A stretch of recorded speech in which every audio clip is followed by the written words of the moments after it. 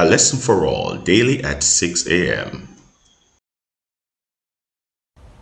Hi, thanks for joining us for another episode of A Lesson for All. What a wonderful afternoon's review.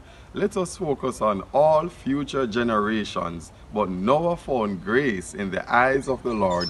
Will you find grace in the eyes of the Lord? Let us pray. Father, forgive us, cleanse us, and help us to see the path to find grace in your eyes. In Jesus' name we pray. Amen. Friends, there are a number of things we can learn from bacteria. Yes, bacteria that is invisible to the naked eye, but can be revealed under the magnifying glass. Point one, sin isn't necessarily printed on our foreheads. Well, not for the average person to see anyways.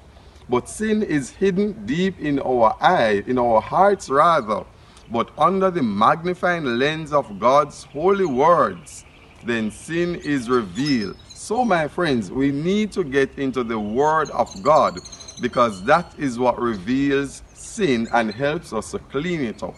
Point two, bacteria can be multiplied very quickly and so too with sin. It passed from one man, Adam, to the entire human race. And if you keep sin in your heart, then you too will pass it on to others. Point three, my friends. Bacteria can be deadly, fatal, and so too with sin. It can be fatal not only physically, but also mentally and spiritually. Like bacteria, which can be destroyed by exposure to certain elements, your sin, my sin, can be destroyed if we go into the presence of God, where His power, His beauty, His majesty will destroy sin. And that, my friends, is a lesson for all. Place yourself in the presence of God, and your sin will be destroyed. And like Noah, you will find grace in the eyes of the Lord, not just for yourself, but for your friends and your families. Let us speak to the Father.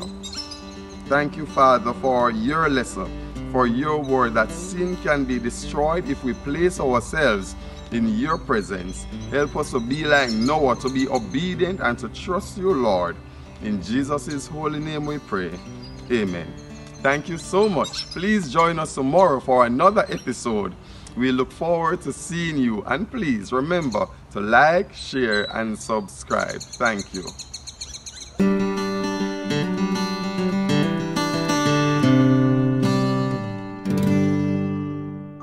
A lesson for all daily at 6 a.m.